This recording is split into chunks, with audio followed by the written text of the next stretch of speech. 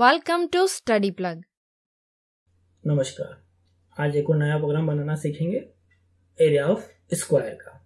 वैसे में क्या फॉर्मूला है एरिया ऑफ़ स्क्वायर का? साइड इंटू साइड मतलब यूज़र से हमको एक ही वेरिएबल चाहिए साइड उसी को हम दो बार मल्टीप्लाई कर देंगे और एरिया कैलकुलेट कर लेंगे। चलिए शुरू करते हैं। शुरू में दो ही वो हेडर फ़ाइल हैं hash include S dot H और hash include conio dot H program कहाँ से स्टार्ट होगा? वर्ड मेन से। कली ब्रेकेट ओपन दो वेरिएबल में डिक्लेयर कर देता हूँ फ्लोट टाइप का, एक तो लिखता हूँ साइड और कोमा एरिया दो ही वेरिएबल चाहिए, क्योंकि साइड साइड दो बार में खुद एक ही वेरिएबल को यूज़ कर लूँगा फिर प्रिंट है यूज़र को मैसेज दूँगा मैं इन्वर्टेड कोमा में enter the side of square user side enter करेगा, उसको मैं कौन से फ़ंक्शन से रीड आउट करा दूँगा? स्कैन एफ़ से रीड आउट करा दूँगा। Scan F inverted comma percentage F क्योंकि फ्लोट टाइप का डेटा टाइप ले रखा है।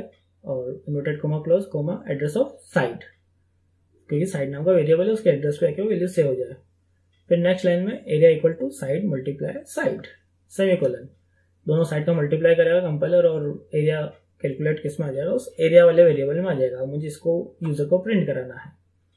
तो print F the area of square is percentage F inverted comma close comma area bracket बंद, सेमिकोलन, और फिर गेट सी एच सेमिकोलन, और कली ब्रैकेट भी मैं बंद कर दूँगा।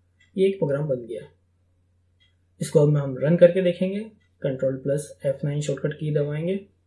प्रोग्राम सक्सेसफुली रन हो गया। मुझसे साइड मांगी गई, मैंने साइड एंटर कर दी।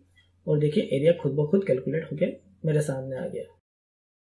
इन्हीं प्रोग्राम को आप खुद ट्राई करें। और बनाने की कोशिश करें। कोई भी दिक्कत आती है तो कमेंट सेक्शन में आके कमेंट करके बता सकते हैं।